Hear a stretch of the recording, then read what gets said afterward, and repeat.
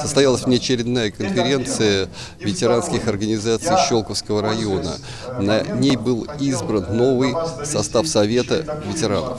Необходимость в этом возникла в связи с тем, что Алексей Волков подал заявление о сложении полномочий председателя Совета ветеранов. Этот вопрос в соответствии с уставом должны были рассмотреть на конференции. Ее делегаты своим голосованием удовлетворили просьбу Алексея Волкова, его поблагодарили за многолетний труд, наградили грамотой Президиума Всероссийской организации ветеранов. Приехавший на конференцию председатель Московского областного совета ветеранов Виктор Пикуль в своем выступлении отметил заслуги Алексея Николаевича Волкова, проработавшего на выборной должности 8 лет.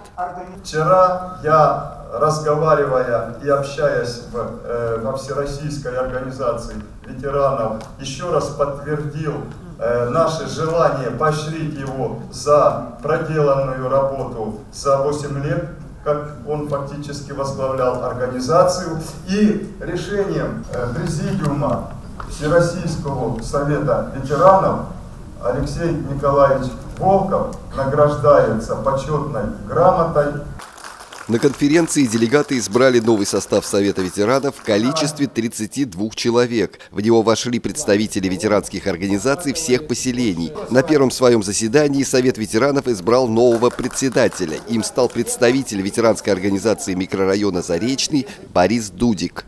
Хотел бы, пользуясь случаем, обратиться э, ко всем категориям наших ветеранов. Сегодня ну, около 65 тысяч ветеранов разных категорий. А на учете состоит 17,5 тысяч остальные.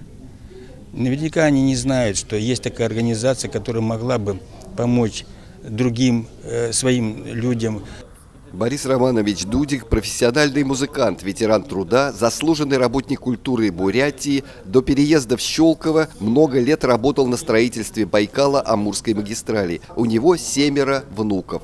Андрей Цеханович, Сергей Максимов, телерадиокомпания «Щелково».